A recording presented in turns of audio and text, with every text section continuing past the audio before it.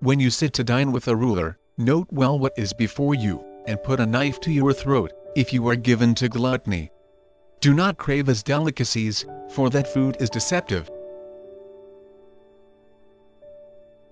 Do not wear yourself out to get rich. Do not trust your own cleverness.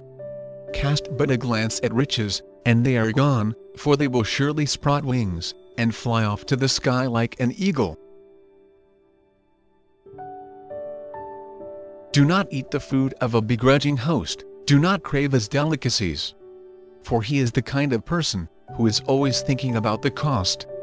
Eat and drink, he says to you, but his heart is not with you. You will vomit up the little you have eaten, and will have wasted your compliments. Do not speak to fools, for they will scorn your prudent words.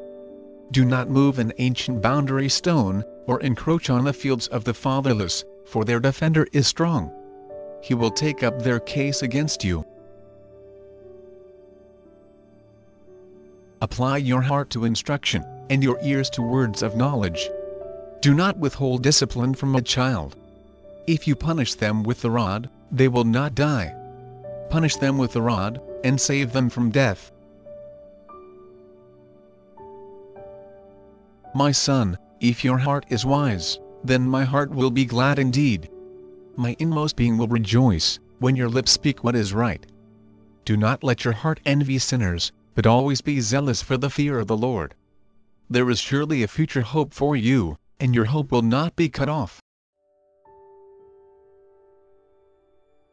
Listen, my son, and be wise, and set your heart on the right path. Do not join those who drink too much wine, or gorge themselves on meat, for drunkards and gluttons become poor, and drowsiness clothes them in rags. Listen to your father, who gave you life, and do not despise your mother when she is old. Buy the truth and do not sell it. Wisdom, instruction and insight is well. The father of a righteous child has great joy.